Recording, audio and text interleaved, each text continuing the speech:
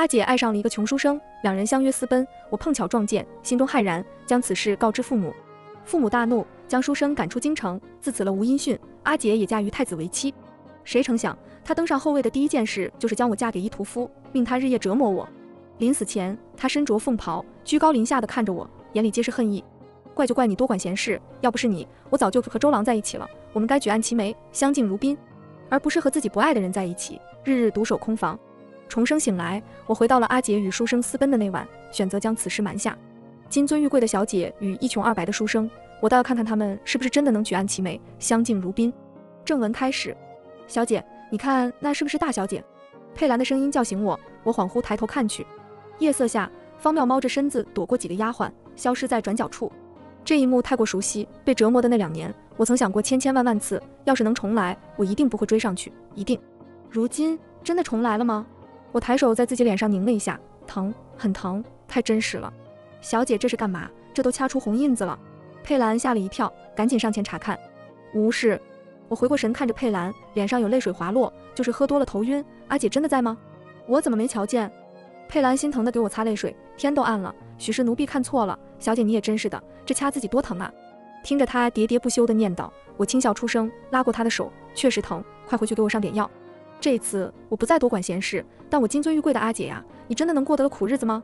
周景算是家中的客人，他祖上与侯府有亲，恰逢进京赶考，囊中羞涩，便来投奔侯府。父亲心善，虽说已几十年未曾来往，但他既求上门来，还是吩咐下人好生照顾，让他安心科考。哪知方妙竟与他暗生情愫，周景一朝落榜，便怂恿方妙同他私奔。前世的我因为睡不着，在庭中喝酒，就那么巧看见了鬼鬼祟祟的方妙，我一时兴起跟了上去，想着吓吓阿姐，结果吓到了自己。方妙和周景拥在一起，两人互诉衷肠，躲过下人，在茫茫夜色中从后院离去。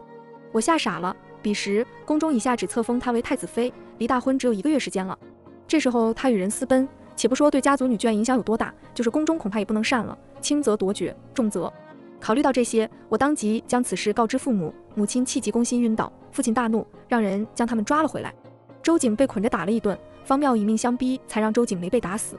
父亲到底是心疼他的，最终与叔伯商议，只将方妙关在祠堂悔过，又让人将周景赶出京城，威胁他再出现在京城，便让他家破人亡。自此便没了周景的音讯。而方妙在不久后嫁进东宫，风光无两。两年后，皇上驾崩，太子登基，她成了皇后。我由衷的为她高兴。结果，她做皇后的第一件事，就是在上元节设计让我落水，又让一个屠夫救了我。众目睽睽之下，为了家族名声，我要么落发出家，要么嫁给屠夫。母亲哭红了眼，本想让我在家中的小佛堂出家，大不了不嫁人。可方妙一道一旨，说我和那个屠夫是天赐良缘，逼得我不得不嫁。那个屠夫日夜折磨我，我一直不明白为什么，为什么我嫡亲的阿姐会让我嫁给这种人。一直到临死前，身着凤袍的方妙屈尊降贵来看我，那个屠夫谄媚的跪在他脚边，我才明白一切都是他授意的。阿姐，为什么呀？我撑着一口气不甘的询问。我是你的妹妹，我们一母同胞，感情极好。他知书达理，待人宽厚和善，不应该是如今这样的。怪就怪你多管闲事，要不是你，我早就和周郎在一起了。我们该举案齐眉，相敬如宾，而不是和自己不爱的人在一起。方妙眼里恨意汹涌，我天天独守空房，你知道我这两年是怎么过来的吗？都怪你。我那时才明白，原来他一直记恨我将他和周景私奔的事告知父母。方妙有些癫狂，他亲手将匕首插进我的胸膛，声音冷漠：“要是有下辈子，别多管闲事。”方妙失踪了，下人从他枕头下翻出一封信，信上说他和周景两情相悦，太子不是他的良人，他也绝对不会嫁给太子的。母亲看完信就晕了，父亲怒不可遏，让人去把方妙抓回来。可这种事毕竟关乎女眷名声，方妙又身份特殊，自然不敢大张旗鼓，只能私下寻找。佩兰忍不住问我：“小姐。”昨晚那个人不会真的是大小姐吧？要不要告诉老爷？你昨晚看见了？我转过头，目光幽深。佩兰听我语气不对，马上改口：夜深了，奴婢也看得不真切，许是哪个下人？我心中一时酸涩。佩兰五岁到我身边伺候，对我忠心耿耿。前世我被屠夫折磨，他想要逃出去通风报信，却被屠夫溺死在井里。我当时被铁链锁着，就离他几步路的距离，亲眼看着他被推下井。佩兰，昨晚我们什么都没看见，知道吗？我不放心地叮嘱他。知道了，小姐，我什么都没看见。佩兰虽然话多，却明白什么话该说，什么话不该说。半个月的时间转瞬即逝，我尽心为母亲是急，提及没找到的方妙，我却闭口不言。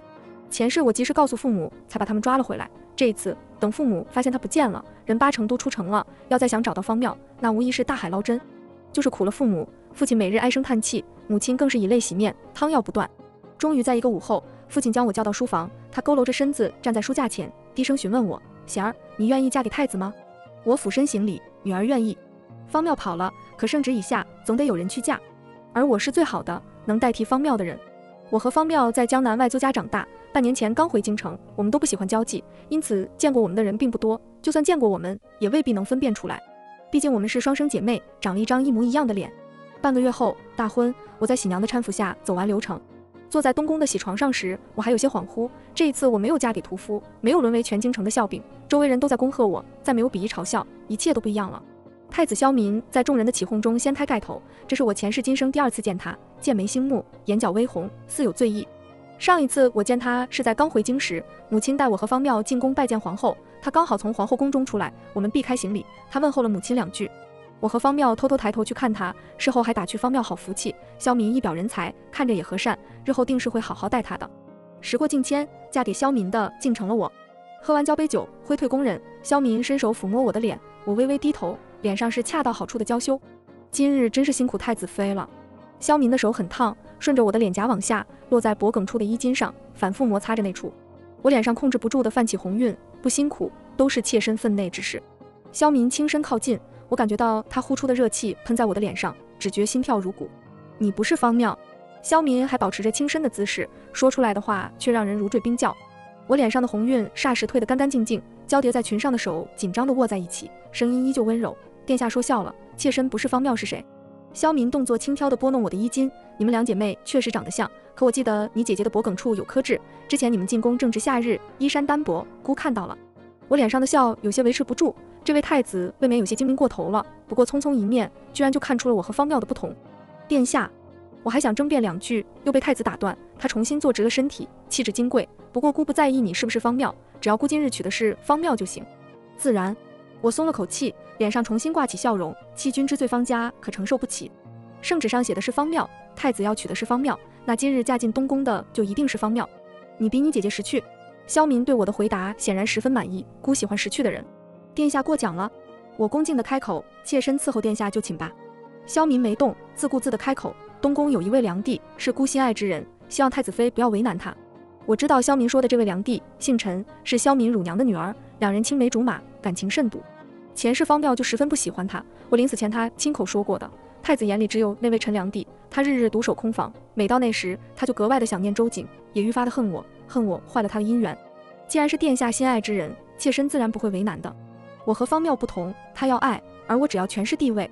萧明闻言更加满意了，你放心，该给你的尊荣，姑不会少了你的。那妾身想向殿下求恩典。我抬头对上他的目光，萧明来了兴趣，太子妃想求什么？孩子。我目光坚定，补充道，我想要殿下的嫡长子。萧民失笑，轻身上前，那太子妃可得争气点，早日替姑生下嫡长子。烛火摇曳，红浪翻滚，一世旖旎。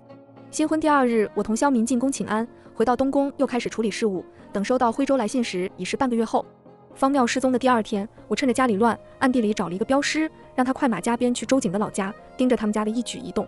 我展开信，信上说他跑死了两匹马，赶到周景老家，正好碰上周景的老母亲搬家。他找人稍微打听了一下。村里人都说周景要娶侯府千金，周老太是去京中享福去了。他一路跟着周老太，却见周老太并没有去京城，反倒是去了徽州州城的一处三进院落住下。半个月前，周景带着方妙也住了进去，两人对外说是夫妻。这周景一到徽州城就结交好友，频繁参加诗会；方妙则是在家尽心侍奉婆母，唯有两次出门都是为周景和周老太添置衣裳鞋袜，还真是孝顺啊！我捏着信纸的手紧了紧，父母十几年的疼爱都没有让他如此孝敬。这佛口蛇心的周老太倒是让他上赶着伺候。佩兰心疼地拉过我的手，太子妃别伤了自己。我松开手，信纸落入火盆中，火舌舔过，不过片刻就只剩下灰烬。佩兰，你回一趟方家，可以给二小姐发丧了。之前忙着婚嫁，自然不好办丧事，现在半个月过去，正好。当晚，方家二小姐，太子妃的亲妹妹方贤病逝，因是未嫁而伤，丧事办得很简单，并没有在京中掀起什么风浪。我在东宫的日子过得十分顺心，皇后性子还算温和。不会太过为难我，各宫娘娘都是有眼力见的。至于那位陈良娣，听说身体不好，一直病着没来请安。萧民除了睡觉，空闲时候都陪她去了。镖师再次来信的时候，我正在命宫人收拾东西，准备下江南，准备去亲眼看看方庙。说来这还是沾了陈良娣的光，皇帝要下江南，萧民随行其中。陈良娣听说此事后，闹着要去，他身体不好，经不起舟车劳顿。萧民当然不会同意。我趁机进言，让我也跟着去，会替他照顾好陈良娣。萧民想了两天，同意了。至于皇帝那边同不同意，那就该是萧民操心的事。临行前，我又收到一封镖师来的信，打发了工人拆开信一看，厚厚的一沓，说周景最近出手阔绰，俨然一副豪族公子作态，结交了不少狐朋狗友、红颜知己，其中就有春华楼的头牌芍药姑娘。至于方妙，终于在百忙中抽空向外祖母递了拜帖，只不过没有得到任何回音。我猜他应该是还有些余钱，所以至少没闹上门去，只是递拜帖。佩兰十分忧心，要是老夫人到时候见了大小姐。我和方妙同在外祖母膝下长大，她向来疼爱我们。方妙再哭诉一番，放心吧，外祖母再疼她也不会把整个家族都搭上的。况且还有舅母呢，舅母就是为了自己的孩子，也不会让方妙乱来的。方家就两个女儿，一个在宫中，一个在棺材里。她现在跳出来说自己是方妙，是要把整个家族送上死路，到时候可就是大家都想要她死了。识趣点，方妙就应该安安分分过好现在的日子，再不要回来。可惜她既想要心心念念的爱情，又想要过富贵安逸的日子。世上哪有这种好事？车马一路南下，我与陈良娣相处甚好。她是个病美人，性子温和，不争不抢，倒是有些出乎我的预料。毕竟前世方妙没少说她的不是，那些话竟是与她半点沾不上关系。不过这于我而言倒是好事，我没想将精力用于后宅，只想坐稳这个位置，赶紧生下嫡子。行驶两月，一行人终于在徽州停下，因为陛下染了风寒。这倒是便宜了我和陈良娣。他长在徽州，闹着要跟来，本就是为了重游故地。我和太子去为陛下侍疾，好不容易才抽出空去见了外祖母。外祖母见了我很是激动，说起方妙只是抹泪，说他糊涂。我安慰了外祖母，看他睡下才离开。舅母一路送我，小心试探。前些日子有个人递了拜帖来说是想见老太太。舅母，外祖母身体不好，还是别让他老人家见外人了。至于说了不该说的，舅母看着处置了就好。舅母脸色总算好些了，娘娘明白就好。您的几个姐妹这会正说亲呢，家里要是闹出什么事，总归不美。之前我正为了这事为难呢，有了准话，我也放心了。说到底，这是方家的事，没有方家人开口，他怎么好插手？我点点头，十分赞同。我相信舅母。说话间也到了府门口，我正打算上轿，耳边却传来熟悉的声音：“贤儿，是方妙。”我转头看去，他正被几个侍卫拦着。今日出行带的人并不多，但好在个个都是心腹好手。大胆！哪来的贱民，竟拦贵人的车驾？佩兰面对那张脸，脸不红心不跳的斥骂。我心中暗暗点头，不错，这段时间东宫的嬷嬷将佩兰调教的真好。这要是换成以前，佩兰肯定慌了神。听到贱民二字，方妙的脸色变了又变。以前只有他骂别人贱民的时候，什么时候轮到别人这样骂他了？妹妹，我是方妙啊，是姐姐。方妙没有理会佩兰，急切地表明身份。放肆！舅母沉着脸呵斥：“太子妃只有一个妹妹，已经病逝，你是什么东西？”竟敢来这冒充我们家表姑娘，太子妃方妙怔住，不敢相信，她怎么会是太子妃？我给舅母使了个眼色，舅母了然，和佩兰带着下人走远了些。听说你想见外祖母，你想做什么？我笑容满面的开口，不会是想要外祖母接济一下你现在的生活吧？今日方妙身上穿的衣裳虽然是云锦，但有些旧了，样式也并不时兴。这样的衣裳换做以前，他看都不会多看一眼的。方妙脸上的尴尬一闪而过，没有回答这个问题。你为什么成了太子妃？你顶替了我，不然呢？我反问，难不成等你和秦王的苦日子过够了，再回家哭一场认错，然后嫁给太子？你把太子和皇家当傻子了？想要就要，不想要就丢开。方妙脸色更加难看，小妹你怎么能这样说？我和周郎是真心相爱的，我们肯定会长长久久，恩爱白首的。我冷笑出声，那你现在来找外祖母干什么？不去陪着你的周郎？周郎他想打点一下，谋个一官半职也好养家糊口。妹妹，既然你现在已经是太子妃了，那你能不能帮帮他？方妙说的理所当然，他现在好歹也是你姐夫了。谋官，想得挺美，怕是帮不了你了。我捏着帕子的手紧了紧，自己想办法吧。我甩袖离开，听着身后方妙的叫喊声，心里毫无波澜。回到别院，我便吩咐了佩兰，让她想办法替周瑾和徽州秦知府暗中牵线。这位秦知府，我还是听萧民提起的。萧民对他不是很喜欢，说他能力一般，贪财慕势，偏还很会拍马屁，讨得皇帝开心。去年将他从京中外调来徽州做了知府。萧民眼里容不下这种人，可如今倒是可以利用一二。佩兰的动作很快，不过两天的功夫，周景的好友就在一场赏花宴上将秦知府引荐给了周景。秦知府见了身穿流光锦、头戴美玉冠的周景，对他的才华十分欣赏，赞了又赞，还说他落榜委实可惜。周景十分激动，回家后就开始撺掇方妙给他拿银子打点。方妙如今哪来的银子啊？家里都快吃不起饭了。无奈之下，只能将他们现在住的宅子卖了。因是急着脱手，价格压得非常低。看着到手的房契，我吩咐佩兰将这个给舅母吧，后面的事你别插手了，让舅母安排一下。涉及烟花之地，我如今的身份插手不被查到还好，万一露出蛛丝马迹就不太好了。可舅母不一样，她娘家是徽州的大族，这点小事交给她绰绰有余。从前舅母最疼方妙，如今却是恨死方妙了，生怕他乱来，到时候整个家族都得给他陪葬。没两日，徽州有名的萧金窝春华楼就闹出了大事。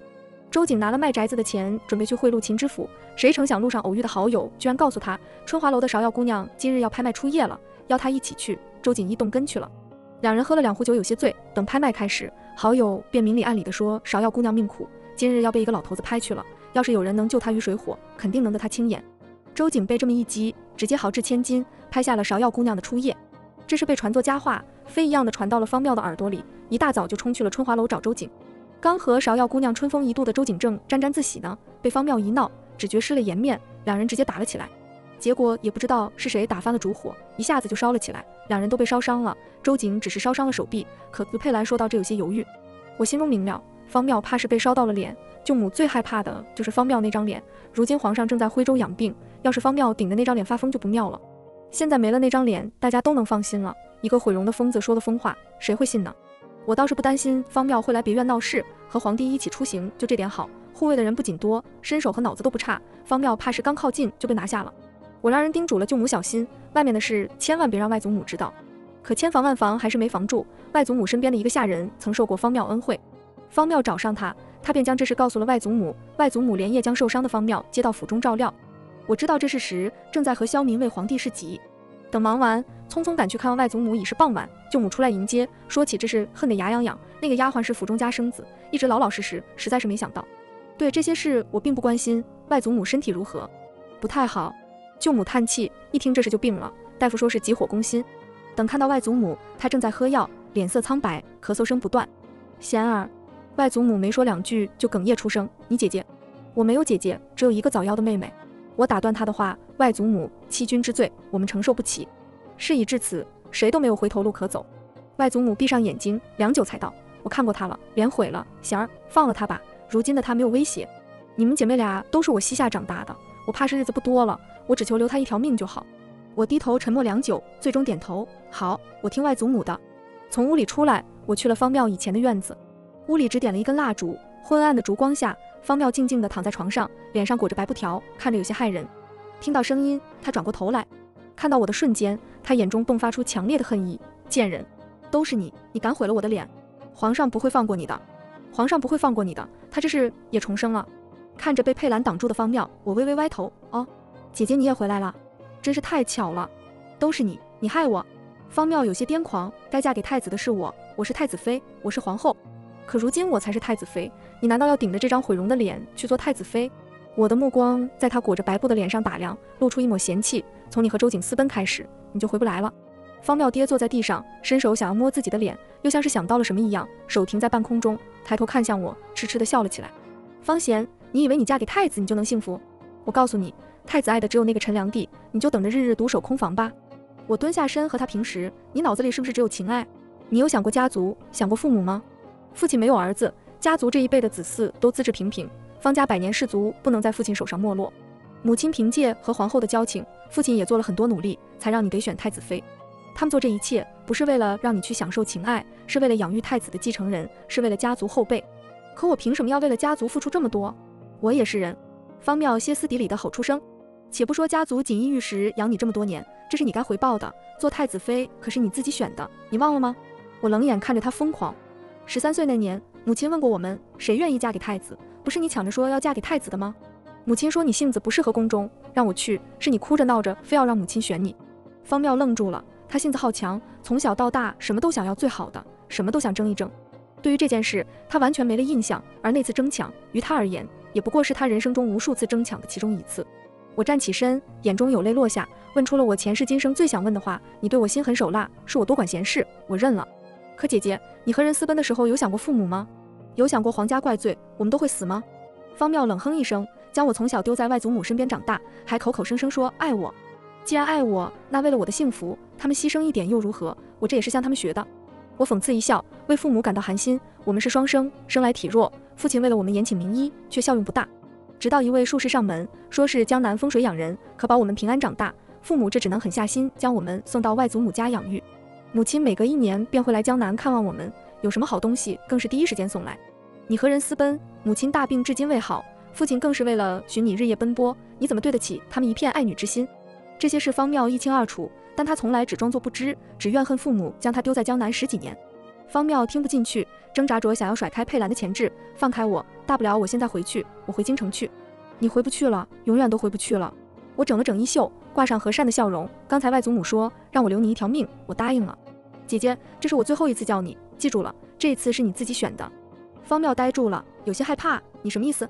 外祖母不会的，母亲还有母亲，母亲知道了不会放过你的。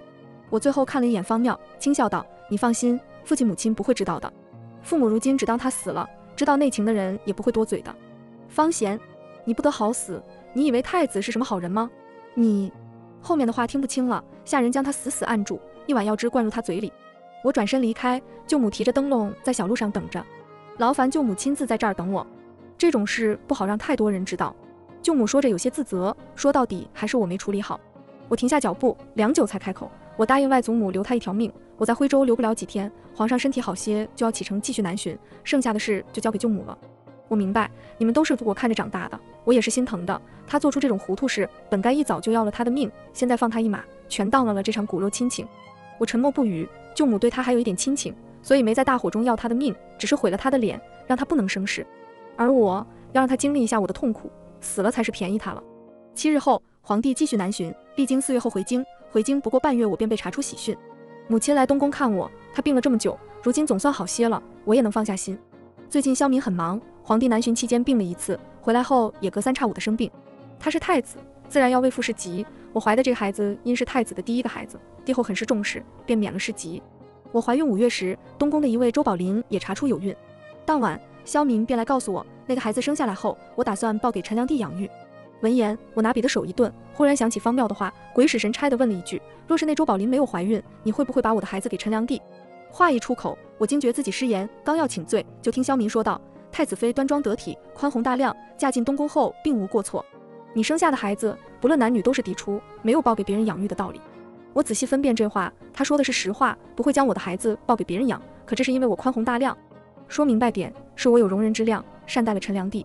那前世的方妙呢？他处处和陈良娣作对，没少为难他。他的结局是什么？被萧民去母瘤子吗？外人都说萧民偏宠陈良娣，这何止是偏宠？我斟酌着小心询问陈良娣，知道殿下要将周宝林的孩子给他养育吗？到时候周宝林是留还是不留？不留，他喜欢孩子，那孩子没了生母，在他身边长大，才会将他当成亲生母亲。萧民随口说出的话十分冷漠。陈良娣与我青梅竹马。更是为了下水救我，才会损伤身体，不能有孕。我得给他一个孩子。我挂起笑容，柔声表示明白。几个月一晃而过，我生产并不顺利，疼了两天才生下长子。皇帝在病中听说后，给他取名萧霁。月子里，我收到舅母来信，外祖母病逝，他命人将方妙双手打断，给了一笔钱，将人送回周景家中。周景当初在春华楼闹出那种事，事后害怕被要赔偿，连夜带着老母搬回村里去了。周景看着被送回去的方妙，毁了容，还成了哑巴，十分嫌弃。但一听说有银子拿，他又换了副嘴脸，笑嘻嘻地将人留下了。他以前看在方妙漂亮，又有家世和钱财，对她是百般讨好。如今嘛，是非打即骂，恨不得在她身上将曾经的谄媚讨好加倍收回来。周母本来也是个刻薄的，见他成了方家的弃子，当然不待见，每日里也就给口饭吊着他的命。至于带着方妙利用他的身份闹事，根本不可能。舅母暗中派人盯着，但凡他们有一点苗头，马上就掐灭。周景和周母明白这一点后就安静了，但对方妙就更加恶劣，觉得都是他克夫才会让周景没有大展抱负。我将信纸烧掉，安心哄孩子，心中不由得想到了方妙前世的话：举案齐眉，相敬如宾，真是一场十足十的笑话呀。周宝林生产那日，皇帝驾崩了，萧民忙着处理后事和登基事宜，我趁机将生产完的周宝林送出东宫。